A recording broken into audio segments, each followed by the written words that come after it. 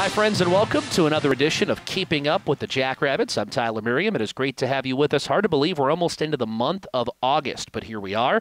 And our special guest this week, a former Jackrabbit men's basketball player and someone who is a regular at SDSU sporting events as well and throughout the community, he and his family. Matt Jones is joining us. Matt, how goes things today? Doing well, Tyler. Thanks for having me. Well, thank you for being a part of this. And uh, let's begin with the raging metropolis that you grew up in. Yeah, the big the big metropolis of Alpena, South Dakota, population 250. So uh, I have yet to lose a contest with anybody on the amount of kids in their graduating class, and I had a total of a whopping six. Wow. Let's talk about uh, how you ended up at South Dakota State. What led you to Brookings? It was the basketball. Um, you know, I, I, was being recruited by by Coach Nagy and Coach Morgan Thaler at the time.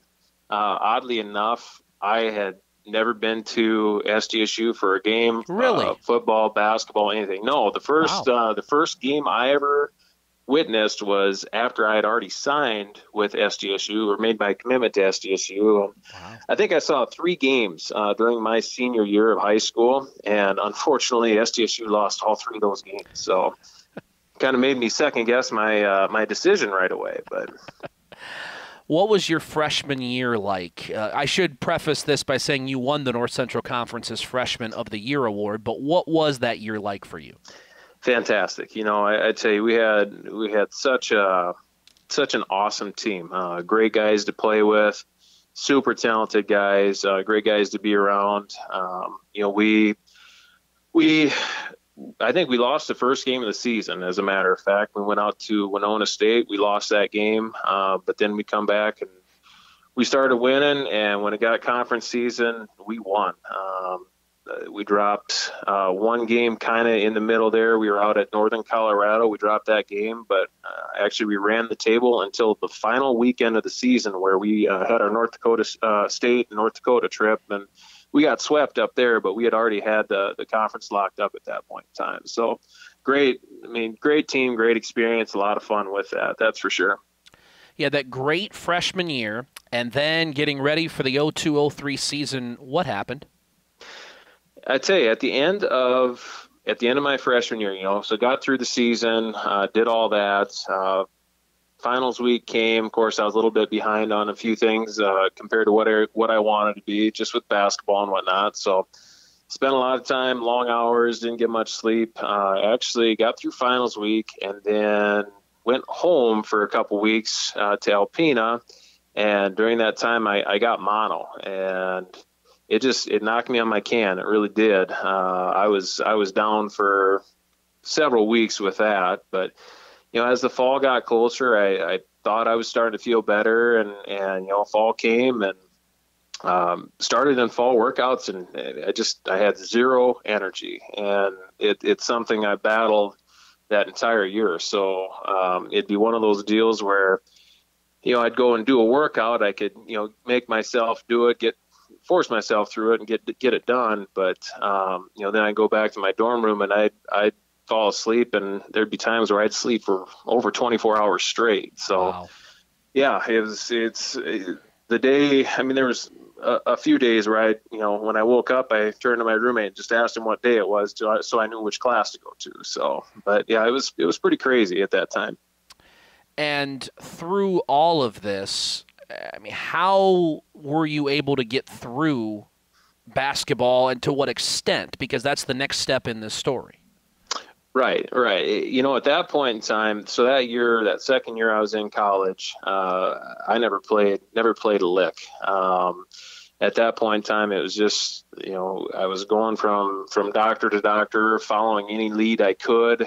Um, unfortunately, everything, every doctor I saw, every test I did, every everybody just kind of put their hands in the air. You know, on paper, on the lab test, said I was healthy. So, you know, nobody could really figure out why why I felt so lousy. So, the basketball portion of my second year was was non-existent. I just I, I didn't do any of it. So.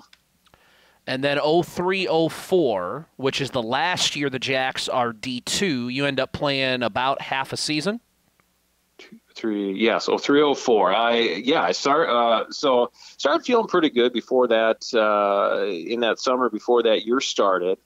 And uh, i got through and i i knew i wasn't right um, which i know that's a that's a funny term when you talk about me tyler. You know that very well but but I, I wasn't quite right but yet you know still pretty darn good. Um, so uh, was able to get through uh, a half to three quarters of our non-conference uh, season, and, and about Christmas time, I just I took a dive. My I just lost all energy, um, kind of that same feeling that I had the year before. I just I couldn't I couldn't just couldn't go. Just didn't have any energy. So uh, basically sat out the entire conference season, and then at the end of the season, I, I tried to come back for the playoffs, which you know it was one of those deals where I hadn't picked up a ball or done anything athletic for you know a couple months and so I was completely out of shape to start with, and then you tack that on to you know feeling terrible anyway. So uh, I think I played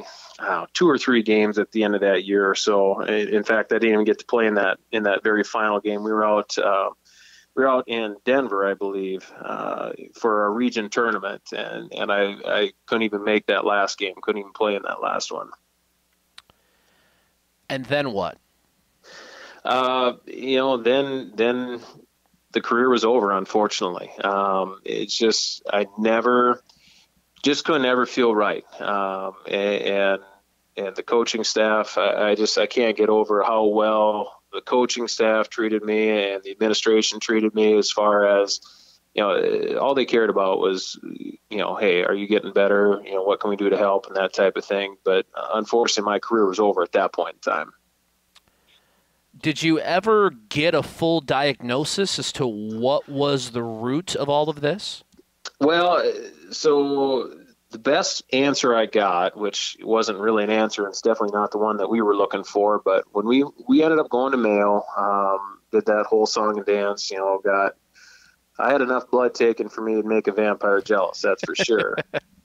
but it went through all of that stuff, and and the guy, the, the, the doctor that was in charge of my care, he, the very last thing he said, he said, for everything we know about the human body, there's there's a hundred things that we don't know. And he said, maybe someday whatever you have will be named after you. But he said, I can't give you any answers right now. So he said he thinks what happened is, you know, sometimes when people get those bad viral infections, which they knew I had mono, um, eh, when people get those bad uh, viral infections, your body just can't ever reset.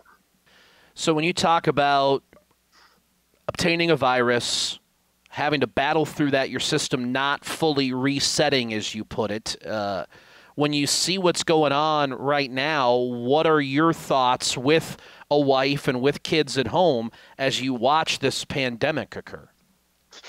You know, thankfully, thankfully, I haven't had to see it with my own eyes yet. I think that would, you know, that would definitely change some things. You know, right now it just it just doesn't even seem quite right. You know, you read um, you read all the news stories and watch the news and that type of thing. It's really hard to register, but uh, it's it's a scary deal. Um, you know, of course, nobody wants to get this. Um, you know, unfortunately, it it has become a way of life. Uh, hopefully, for the short term here, but it is. It's scary. You know, uh, it's funny, but I've through my whole deal, um, I've talked to multiple people that have had mono and have had similar symptoms to me. So every person responds differently, and that's what we're seeing with this virus. You know, for for some people, some people don't even know they have it, and for other people, it's fatal in a very short period of time. So every person, uh, their susceptibility is a little bit different. Um, so you know, if we do get it, we just we cross our fingers and hope that you know all we have is a sniffle, and and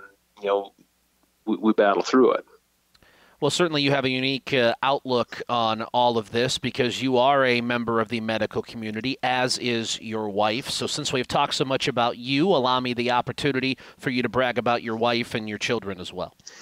Well, that, that, that's pretty easy. Uh, my wife named uh, her name's Katie. Met her. I met her actually my freshman year uh, in the dorms at SDSU, but didn't really start dating until a couple years later. But uh, we're fastly approaching our 13 year anniversary already. So I can't believe she's put up. Yeah, thank you. I can't believe she's put up with you that long. But, but three free, great kids. Free ticket yep. to heaven, Matt. Free ticket to heaven. Well, that's I. That's the only reason why I think that she's with me. That's the, all, all I can figure out. So. But I got three great kids. Uh, Hayden, uh, which uh, a lot of the Jackrabbit community knows Hayden uh, from from different aspects of things, but he's what we call a Jackrabbit junkie. So he's my nine-year-old son. and some people say he's a mini me. So uh, we'll, we'll, see if that rings true. But uh, he's nine. My my daughter Bristol is six. she's going to be going into the first grade. And then uh, my youngest, he's kind of a tornado, but uh, we love him anyway, uh, and that's Camden, and he's four. How have you guys been doing through all this? You know, it. Katie and I have continued to work. You know, we're we're essential, so we never did stop working. Uh, definitely uh, turning into part-time teachers for our kids this past spring was uh, was definitely a challenge that uh, we didn't ever think we'd have to go through. But um, thankfully, our, our kids are, are, are pretty sharp and they're they're willing to learn. They like to learn, so that wasn't so bad. But you know, it's it's it's odd. Um, you know, we're used to being on the go. We're used to seeing people. We're used to being out with friends and and that type of thing. And so we, we've spent a lot of time at home. Uh, a lot of the projects I've been putting off for the past four years are finally starting to get a little bit of momentum put onto them. But, uh, you know, we just, you just kind of take it one day at a time, really. Why are you still so involved with Jackrabbit Athletics? Yeah, that's, I think that's kind of a loaded question. I, I you know, deep down, the, the way I was accepted uh, when I first got to SDSU, um, and and just with the team that we and uh, and and the success that we had, you know, man, you couldn't go anywhere in Brookings without people coming up and talking and shaking your hand. And and for anybody that knows me, that that's what I thrive on. I love talking to people. So just just the the support that I was given from from day one from the SDSU faithful is it's unmatched, you know, and it just um, it really really solidified it. You know, when I went through what I did, uh, SDSU, the the coaches, the administration, uh, they stuck behind me. You know, yes, they wanted me on the court, but they were more concerned about, hey, how are you feeling and that type of thing. Um, they honored my scholarship throughout, which they wouldn't have had to do that, but that's just that's what SDSU is about, and and you know, I, I'm honored to be part of that community. You know, I, it's it's nice to be on this side of it now, and and being able to, you know, support those kids and give back to those kids because uh, I mean the experience is great. You just you just it's it's second to none. That's for sure. Uh, it's always great to see you and the family, and you talk about coming up and seeing people. What most folks probably don't know is is whenever there's a break in our post game radio broadcasts of home basketball games, you always come across the floor and come over and say hi. There might be 10 seconds before we come back, or or a minute and a half, but there's always uh, uh, just a moment there which uh, is is appreciated, and it's just one of those things that you don't think about, but uh, you really second to uh, reconsider just how important things like that are when we go through times like these. It is. I mean, here's the deal: we're all family. You know, it, it it doesn't matter where you're at. You know, when I lived in the cities for those few years going to chiropractic school there, boy, if you see a jackrabbit shirt or if you have one on, you know darn well you're going to have somebody coming up and talking to you. It's just it doesn't matter where you're at somebody has a connection to SDSU and they want to talk to you. And, and that's it is. It's just it's it's a big family and and it's it's just great. So and that and you know being as I don't don't get to listen to the radio broadcast, I figure I at least got to come up and heckle you a little bit. You know, during that game, so I'm sure I'm very deserving of it on every occasion. But right, well, Matt, tell uh, tell your wife a hello and uh, and the family, and we look forward to seeing you and hopefully under much normal times in the very near future. That would be great. Uh, you know, we just uh, hope and pray that everybody stays safe through this and this uh, gets over in a hopefully a short period of time. He is the pride of Alpena, Matt Jones. I'm Tyler Merriam. Thanks for joining us on our latest edition of Keeping Up with the Jackrabbits.